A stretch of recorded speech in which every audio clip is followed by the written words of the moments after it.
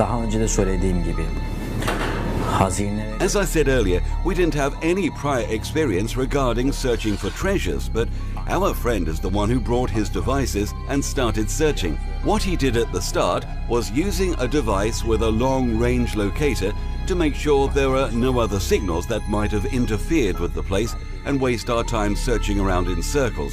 So he started locating the signal source, which was, conveniently enough, the well that we suspected in the first place. Next, he used another sensor to ensure the signal source and to determine the depth. That device gave us accurate results. He used multiple searching sensors with the same device to locate the target location and depth precisely, which is 80 centimeters from the ground surface. arama sensörleri kullandı.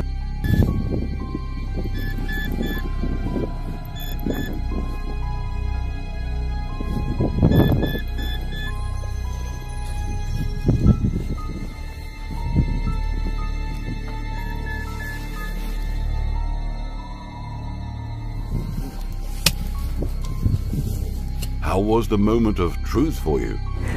Harika bir anıydı. Rüya gibiydi.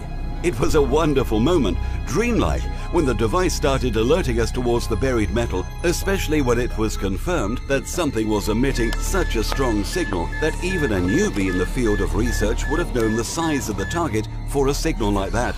At first, we did not believe it. We tried the device outside the explored area and making what he called a new ground balance, and the device was working accurately, which confirmed the legitimacy of the target. Then I asked all my friends to bring the tools and start digging. It was a critical moment. The fear of being a fake signal and all that was buried with some worthless metal without any material or archaeological value, and that all we were hoping for was a dream with making disappointment prevail on us. But at the same time, it was an exciting moment. That it was possible to have something buried with value and to benefit everyone. All I can tell you is that it was mixed feelings. Fear for the absence of something of value and wishful thinking that the dream may come after a long wait. Ani cihazda çoklu arama sensörleri kullandı.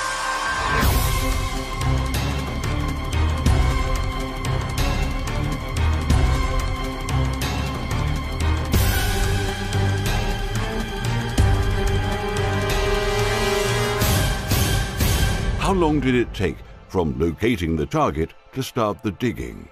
Kimse zaman hissetmiyor. No one was thinking of time. Hours were passing like minutes in excitement.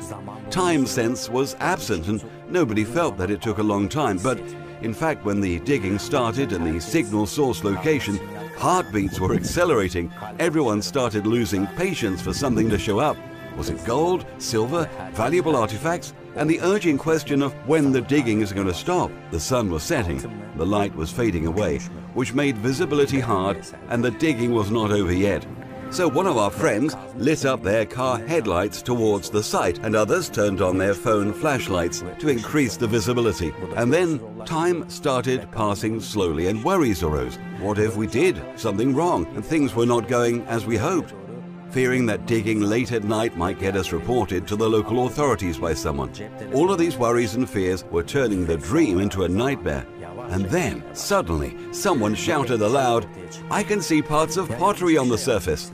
At that moment, joy washed over us as our digging and efforts were fruitful and not in vain. The digging accelerated to show the pottery that was broken at the top. Releasing it from the soil was really hard as it was very brittle the broken parts were collected and the soil was inspected to see what it contained.